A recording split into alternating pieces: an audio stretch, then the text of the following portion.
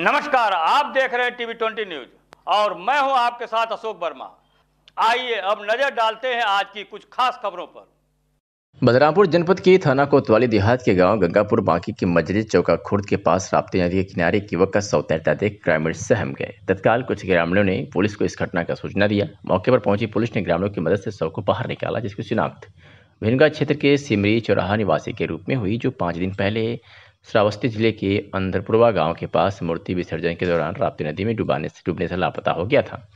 थाना कोतवाल देहात बलरामपुर की पुलिस ने युवक के परिजनों के समक्ष शव का पंचनामा कर पोस्टमार्टम के लिए भेज दिया है। देखे हम डर के मारे भागे तो फिर रुक गए तो बड़कू दादा को अपने देखा दिखाएँ तो हम दादो के देखिन और हम बस उत्ते देखे का का देखे मतलब कहूँ मूर्ति उर्ति पर आ रहा कि कस उल्टा पुल्टा? आवत रही बाहर से धीरे धीरे मूर्ति। अच्छा।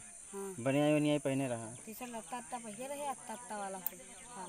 अच्छा तो आप गाँव भर के बताया हो? सबका बताएँ पहुँचे जेका जेका सबका दिखाएँ जे जे वहाँ पहुँचा जेका जेका सबका तो मूर्ति के नीचे दबा रहा कि हाथ वाथ गोड़ कुछ दबा? हाथ दबा रहा वैसा बना चले करे रहे मूर्ति हर जतन लाग आई बाद में अत्ता बढ़िया